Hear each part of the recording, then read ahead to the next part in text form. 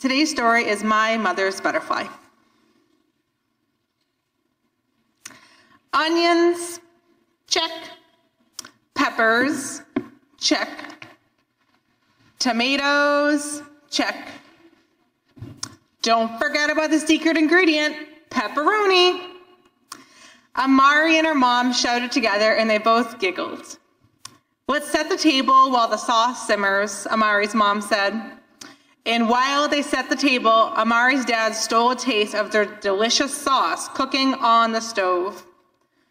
Amari had caught her dad, and they all laughed together. Later that night, Amari's mom read her a bedtime story, and she went soundly to sleep, recounting their fun family dinner. The next morning, Amari's mom dropped her off at school, but Amari's mom was late for picking her up from school. She had a funny feeling, like butterflies in her stomach. It didn't feel good. Finally, her grandmother arrived. She told her that Amari's mom was sick and could not pick her up from school today. Worried, Amari asked, Can I see her? Let's let mommy get some rest. She's at the hospital and daddy will take care of her.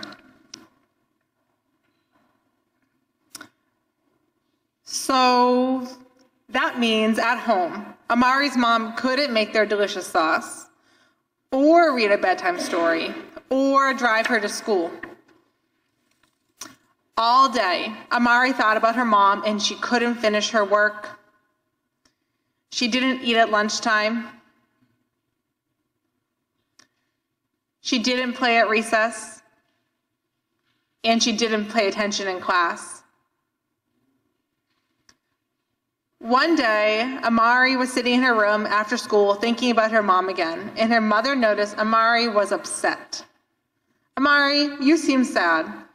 Yes, I miss mommy so much. I wish I could see her and play with her. Well, the doctors are doing their best to help mommy, but you know what? You can help pick up things around the house, help make our super special sauce, and make her a get well card.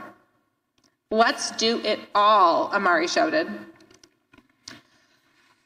So they cleaned the house, made get well cards, and made the secret sauce. Peppers, onions, and tomatoes. Don't forget the pepperoni. Amari shouted. You know, your mother and I made this exact same sauce when she was a child, her grandmother said. Wow, Amari gave her a big smile. A few days later, Amari learned some great news, and her mother will be home soon, and she was ready for her. Amari's mother arrived at the door, and Amari ran and hugged her so tight. Mommy, we have a surprise for you. Can you give it to me in bed? I'm still a little weak, Amari's mom said. After getting into bed, Amari's mom received a surprise her get well cards and a plate of spaghetti with their special, delicious sauce.